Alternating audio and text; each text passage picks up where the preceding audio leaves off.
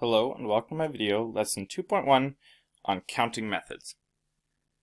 So we're going to do, uh, this whole topic is actually talking about perms and combs, but we're going to start off with counting methods, where we're going to start with the idea of tree diagrams and then even uh, go into fundamental counting principle and, uh, and how much easier it is to use that.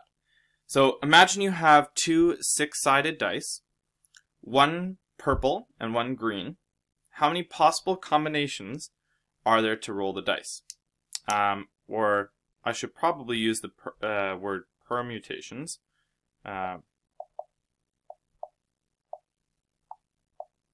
as we are going to be um, using that combination word for a very specific type of thing. So permutation, combination mean different things. So basically, how many different ways, how many possible ways are there to roll the dice? Okay, so tree diagram versus fundamental counting principle. So there are two six-sided dice. We're going to say one is purple, so um, here's our purple one. And we have one green one. So over here is our green one, or maybe uh, maybe I'm gonna draw it actually below. There you go. There's a green one. So how many possible ways can we can we roll the dice? Well, the purple one we can roll it one of six ways. We can roll one, roll it two, roll a three, a four, five, and a six. The green one we can roll one of six ways. So perhaps you roll a one with the purple one, and you roll a 1 with the green one. Uh, 1 with the purple one, a 2 with the green one, 3, 4, 5, and 6. Wow, I could have made more room. 1, 2, 3, 4, 5, 6. 1, 2, 3, 4, 5, and 6. 1, 2, you can see how this will get tedious, but this is our tree diagram. This shows all the combinations and basically all the branching options. We can technically do this for every single question in this unit. However, you can see that this has taken a long time just to solve a two, two dice, which is a very simple situation. So how many possible options are there?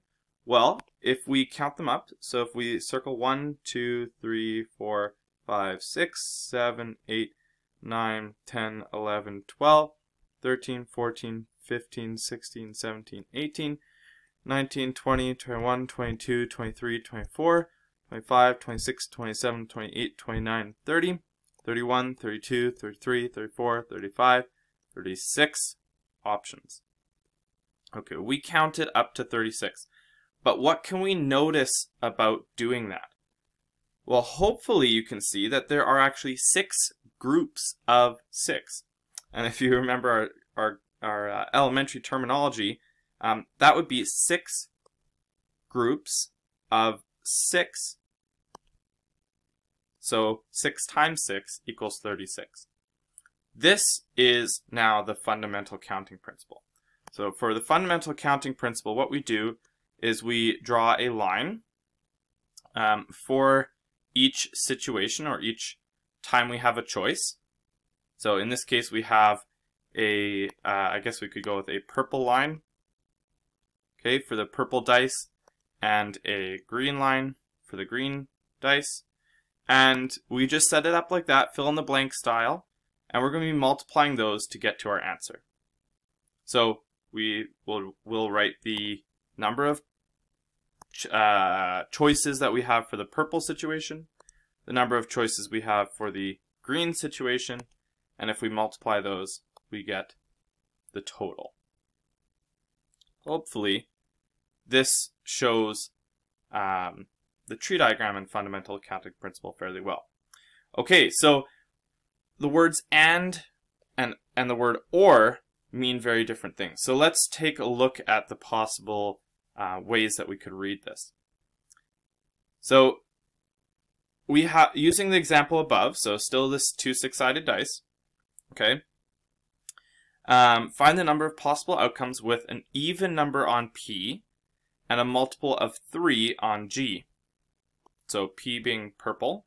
So I'm just going to go like this for my purple one. Okay. And the G is our green. Okay, we're multiplying them and we're getting to our answer. So the question is, um, I guess I could just use blue for all that. An even number on P. So on purple, how many, uh, let's use red. How many even numbers are there? One, two, three. So there's three different even numbers. Okay, and on green, how many multiples of 3? There are 1, 2 in each situation. So we could count, again, count them up with the tree diagram. But there are 2, so we can compare how this would work. So 1, 2, uh, 3, 4, 5, 6. Or 3 times 2 is 6. Okay, let's do that again, um, but with this next situation. So that was an AND, so we had to have both. So where we had uh, the reds over here didn't qualify. Only the reds where it was both uh, there you go. So just those reds would have qualified. Only the reds that are both in both situations. It's and, right? So in this situation, it says, whoops, it says or. So an odd number on P, um, maybe we can use this, no, we can't really circle it very well with this color. That's okay. An odd number on P, so there are going to be, again, three of those and a 5 or a 5 on the G. So there is um, actually there are five of those. One, two, three, four, five, six of those. Okay.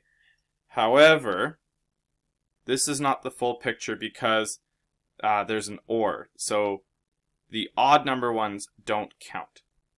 So because we've already counted them, we don't count them twice. So we counted this one, so we don't count it twice. Counted this one, so we don't count it twice. So we actually um,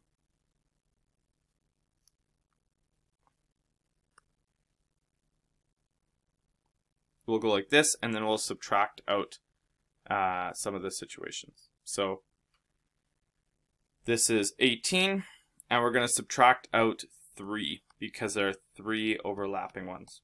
So 15.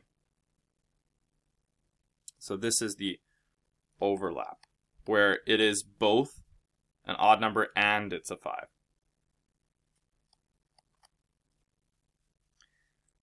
All right, um, one last situation. In a deck of 52 cards, you draw one card uh, from a randomly sorted pile.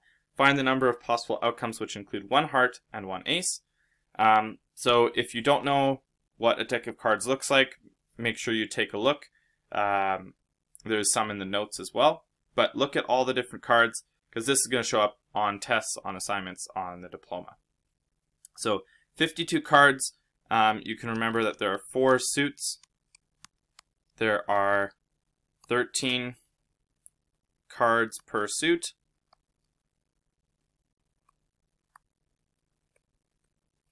Okay, and then let's see if there's if there's anything else important, then we'll do that. So one heart. So in that department, it'll be um, 13 possible choices out of 52 cards. Okay, and then and so uh, sorry, not and times. Uh, one ace, which there are four of those.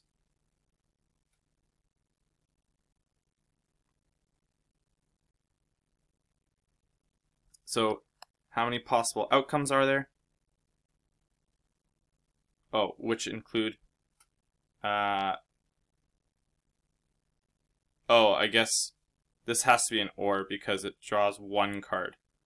It's only one card, so that doesn't that's, I was wondering why that doesn't make sense.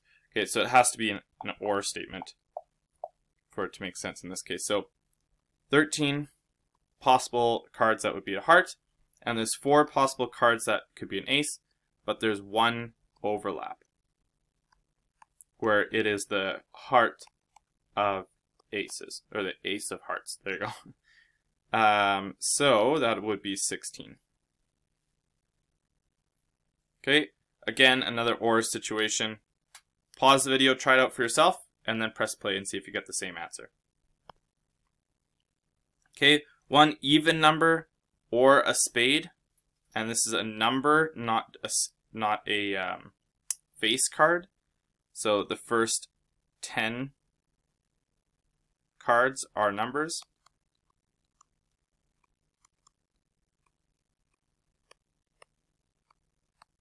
Ace just counts as a 1. Okay, so a spade is 13, right? Um, an even number would be, there are 10 numbers, so 5 of those, but there are 4 suits, so 5 times 4. Okay, but there's also going to be some overlap, um, so we're actually going to minus 5 for all of the spades. So this is going to be 20 plus, so 33 minus 5, 28.